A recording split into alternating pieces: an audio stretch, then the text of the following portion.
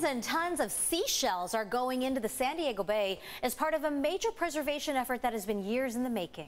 In this Earth 8 report, our Neda Iranpour shows us how the shells are being turned into an artificial reef. These oyster shells came from the Carlsbad Aquafarm, and now here they're being brought to the San Diego Bay, where they'll have a whole new purpose. They may seem dry, brittle, and useless. They're used up oyster shells after all. But in the eyes of environmentalists, these shells are a life source that they hope will bring many benefits to the bay. These are the Pacific oysters. Eileen Maher is the Director of Environmental Conservation for the Port of San Diego. And for about seven years, she's been working on this project with the goal to clean the water and preserve the wetlands. It's my favorite place to come. What we're looking at here is the roadway out to the Chula Vista Wildlife Reserve, which is um, mostly about 80 acres of wetlands. We've done a lot of restoration work out there. Every year, this is the flight line for hundreds of thousands of shorebirds, and that's above the water. Inside, thousands of fish, even the eastern Pacific sea turtle. Up to 80 of them have been spotted here, including one that's over 500 pounds. If you are very quiet and you can hear them when they pop their head up to breathe, you can hear the exhale. And pretty soon, thousands of oysters will take residence in these waters.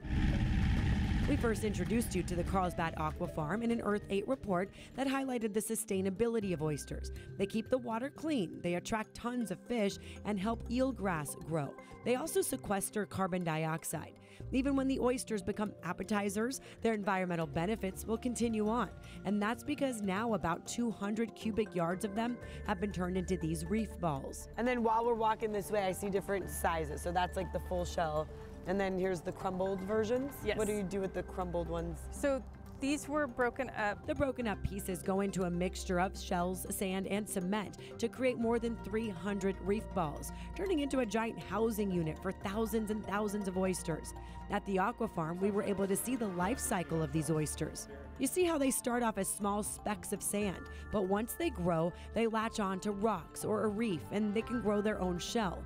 This same process that's happening at the Agua Hedionda Lagoon is now expected to happen here in the San Diego Bay. When they reproduce, they throw out hundreds of thousands of seeds into the water. So we think those reef balls will be filled and the benefits will begin almost instantly. Oysters can filter about 50 gallons of water every single day, and with thousands of them, the San Diego Bay will likely look cleaner. With these cleaner waters, the wildlife will thrive, the endangered eelgrass will keep on growing, and with more shells and more grass, that means they'll sequester even more carbon dioxide. The reef is also expected to help prevent erosion, help with storm surge, and sea level rise. I don't think we can get any more co-benefits out of this project than we already have. They'll even put some of the shells on the shoreline to help birds, specifically the western snowy plover. These birds prefer shallow slopes without any vegetation to access their food.